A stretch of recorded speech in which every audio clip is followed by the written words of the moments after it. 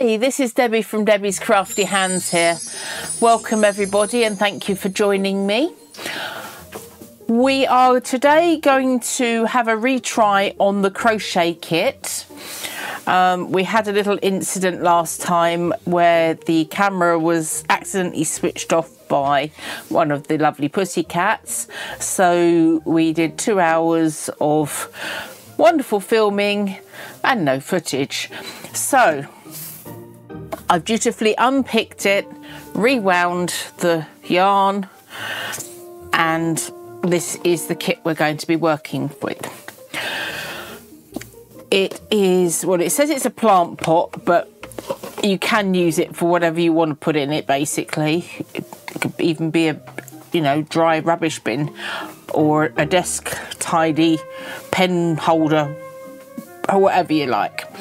Um, it's been sitting on my shelf waiting to be crafted, gathering dust, um, and now is its time. So we're going to do a, a, little slightly different this time. We're going to time lapse me crocheting with a little bit of voiceover and some samples of the stitches running through so that hopefully you can get a good idea of what I'm up to. So I'll see you on the time lapse. Hi everyone. Okay, so the basket turned out not to be particularly beginner friendly. Um, as you'll see in these next couple of clips, I had to make several attempts at the base in order to, to get it right. Um, I'm not a very experienced crocheter, um, so I found it tricky to do and understand. Um, but I got there in the end, so that's the important thing. And I think if you took it slow enough and methodical, you would be okay with it. Um, but because I was doing it on camera, I think I was a little bit more panicky with it and a bit nervous with it. So that's my excuse anyway. Now there will be inserts within this um, bit of footage. We will, I've worked on a shoelace to give you a better visual of the actual stitch. There you can see now I'm having another go at it. I seem to have found something that didn't look, look quite right there. Counting my stitches. So the basic stitches within this pattern are the magic ring, which is the starting circle, half treble crochet, and double crochet, bean stitch and chain stitch. And all of those I demonstrate um, with inserts um, using uh, a shoelace that gives you a sort of a bolder image. The instructions on the box or the inside the box were very very faintly printed so we had difficulty getting them on screen properly. As you can see on the, the picture there you can barely see the writing. Um, and the reflection it was a little bit shiny. So that's why we've done the inserts. So I worked seven half treble crochets into the magic ring to form the beginning of the circle. I'll have a visitor. Um, and then working around the circle in various loops, I gradually increased the base size by first row increasing into every stitch all the way around, second row increasing to every other stitch, um, and so on and so forth until I was doing it every fourth stitch. And that way you don't have puckering and the, the base will sit flat. Because um, uh, if you increase in every stitch every time, then it's going to flop all over the place. It's not going to look neat and tidy.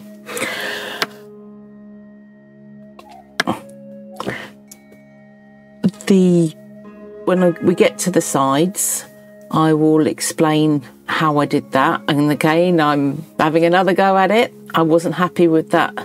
Somehow there was a, a bit of yarn that sort of seemed to have jumped two rows and was sitting across it.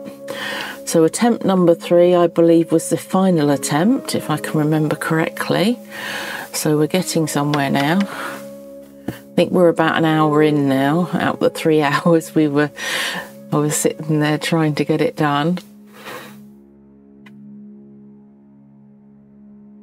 I'm impressed how fast I'm working here. I know it's speeded up, but even so, I think because I've done it several times, I was now familiar with what it what needed to be done. Little's trying to help, but she wasn't that much help, so she had to be evicted again.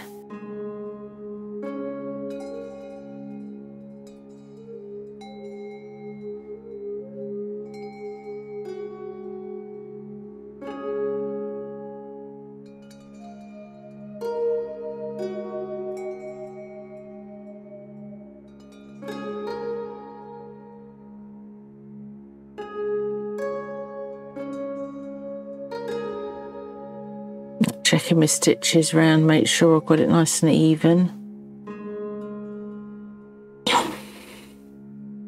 Kept on running out of yarn, having to keep unwinding it from the um, cardboard there.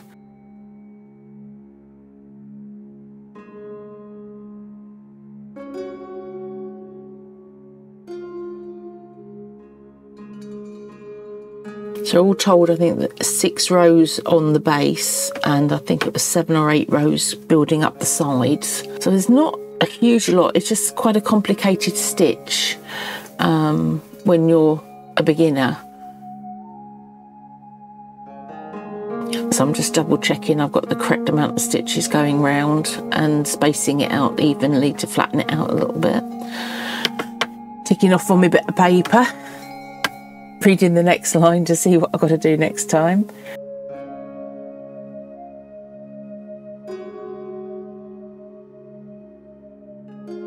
More yarn.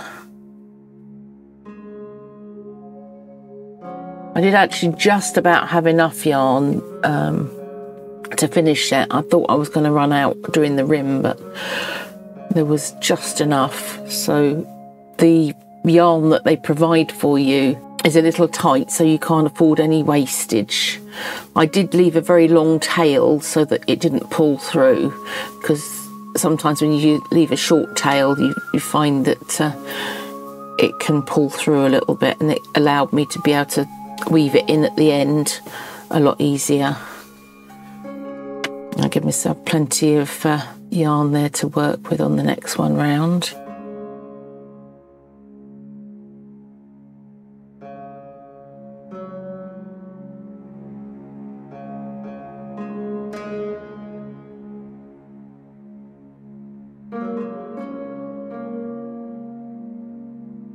We're nearing the end of the base now. Just trying to visually count the rows. Yeah, that, that's about maybe one more. Checking round, make sure it's all nice and neat. More yarn. Oh, that was uh, Mia, I think, running across there.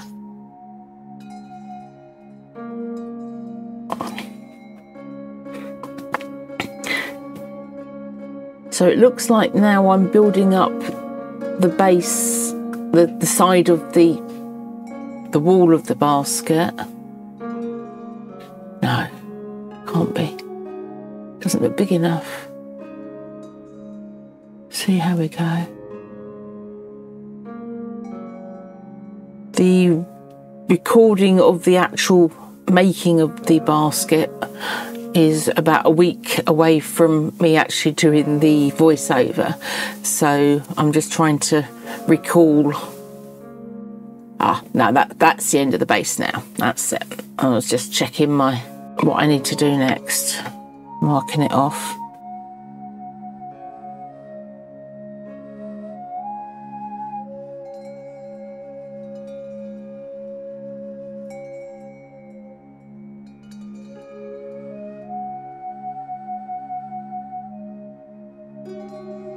So here I'm going into the one outside edge only of the um, the base in order to, as I said, bring up the lip of the side. Um, those tails where the knot is um, will be trimmed off at the end and the knot just sort of sinks into the side of the basket. Um, keep all, all, into the inside and then you don't have them sitting on the outside and messing up your pattern but they're not so visible on the inside. I'm using a little clip as a stitch marker going round now so that I know when my um, ring is completed.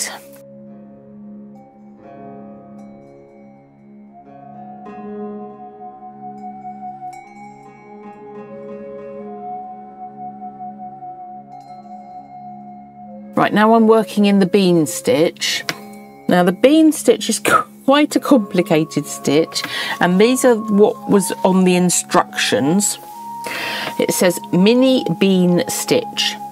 To create a mini bean stitch, which is shortened to MBS, insert hook into the stitch, yarn over, pull back through the stitch and yarn over again. Insert back into the stitch and yarn over again. Pull back through the stitch, yarn over and pull the yarn through all four loops on the hook. And that is one stitch, which is done about a couple of hundred times working round um, the edge of the basket.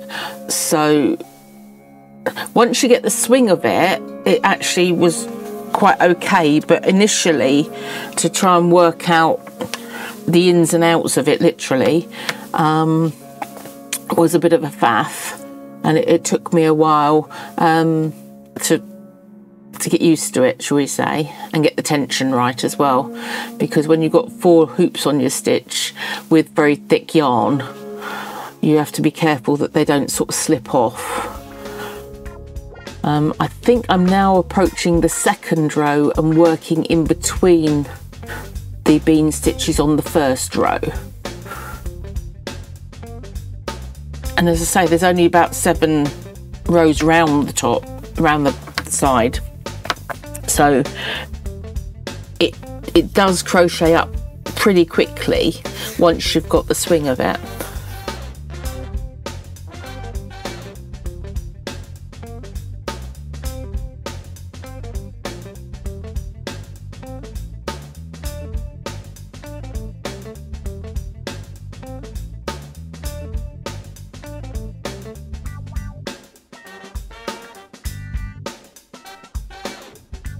Marking my uh, my circle again to make sure I know where to finish and because at the end of each circle you have to um, do a slip stitch to join the circle to make sure it, it's nice and even otherwise it would sit wonky. And you'd have a slanted pattern. So now I'm working through the third row. And you as you can see it's building up nicely.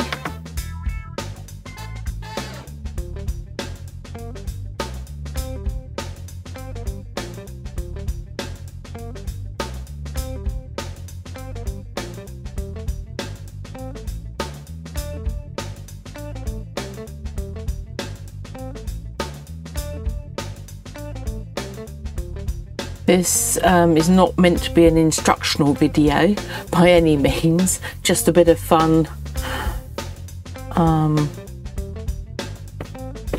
along the way, so to speak. And me tidying up my shelves and getting dusty boxes off and actually working on the, the projects inside them. As is my plan for this year to try and work through all the bits and pieces and get tidied and sorted and organised. So there may well be more um, videos coming up of organisational ideas and tips that we may come up with. So you know that that's something uh, we're, we're planning and looking looking to do in future videos. As heaven knows, there is a lot to be done.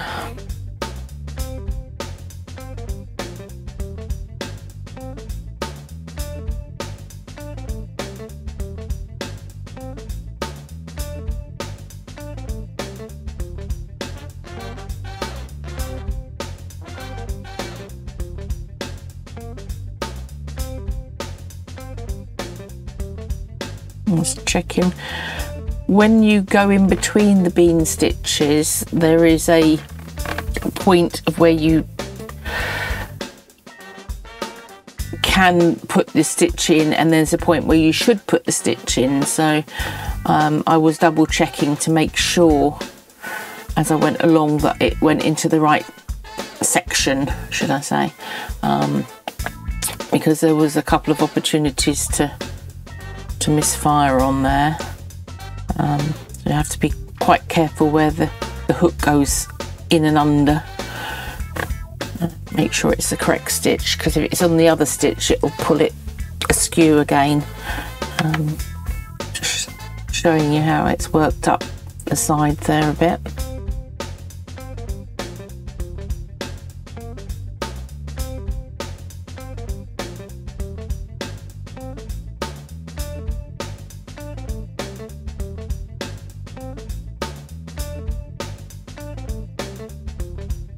Great guns there.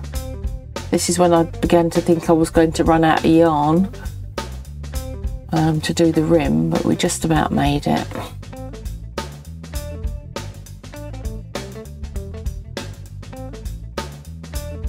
Wouldn't it be lovely if you could do things and then speed them all up? or do things in super speed say right okay let's press the super speed button say on your nose or something and you know everything's sped up for a little while and then press your nose again and slow down. That would be handy to get the housework done wouldn't it? Letting my imagination run away with me now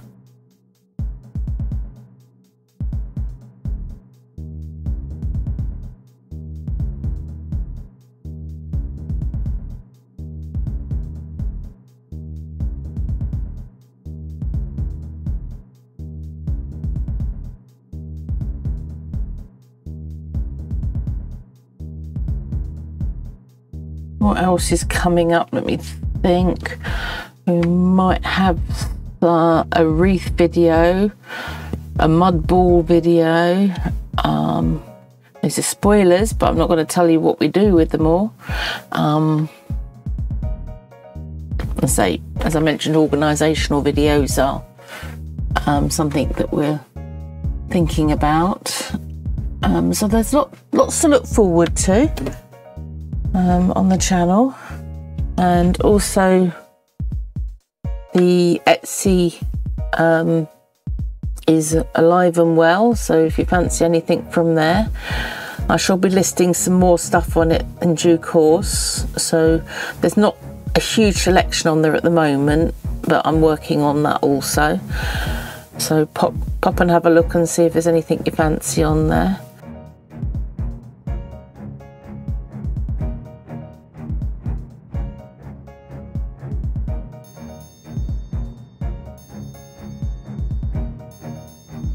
having a good look at the pattern there.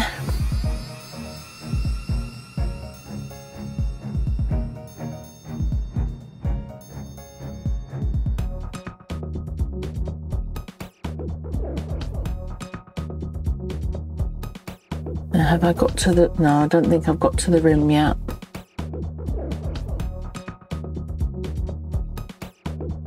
With it going such a super speed, difficult to see how many. Yeah, there's still four on the on the needle.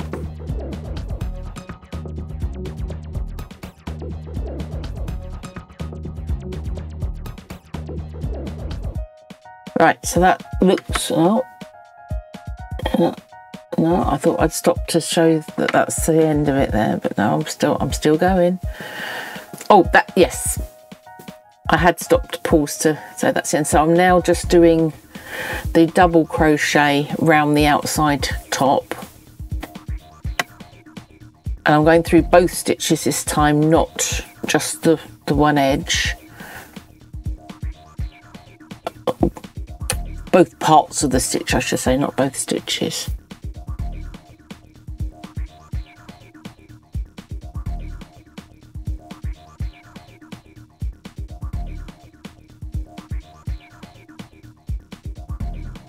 Once I've gone round then I'll do a slip stitch over the top of the double crochet and then we'll have a finished article.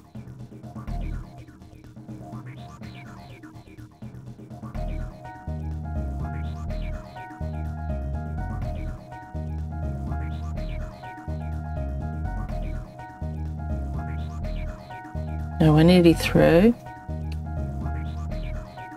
and I'd like to thank you for your patience if you've managed to sit all through this um, speeded up version. That's me finishing and that's the little bit of yarn I had left. Um, now sewing in the ends, tidying it all up.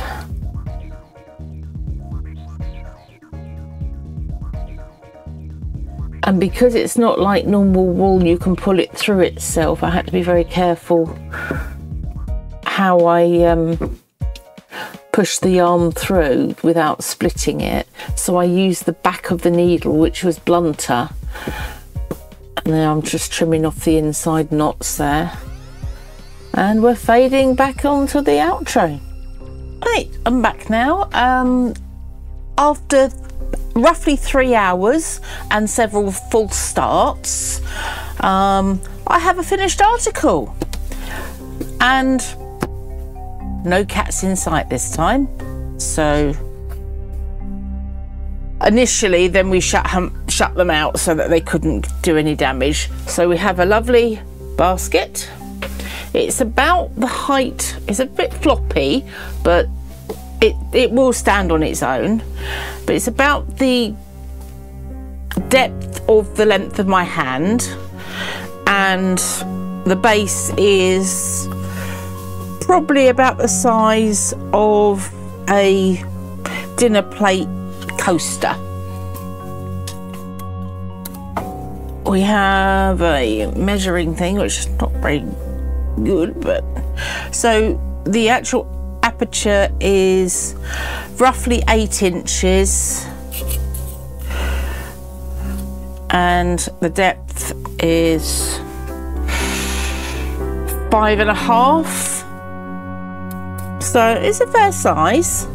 Now I'm thinking you could put um, I did say pens but might be a little bit floppy and a bit big for pens depending on how many pens you've got but it, it may be good for maybe storing um, cottons or small balls of wool um, or even on a stand in a hallway for putting keys and things in, gloves. So it's quite versatile, or you can, as the picture suggests, put a potted plant in it. Now in our house we can't have live potted plants, so we'd have to get a fake one if we were to use it. And even that would probably um, come under some scrutiny with the cats. Um, we have had several live plants and they've ended up on the floor and uh, the cats digging in the dirt, so that didn't work out too good. But I digress. Um, today's much love goes out to my mum and dad. Thank you for your love and support. Um, I really appreciate it. For the rest of you, I'll see you next time. Bye bye.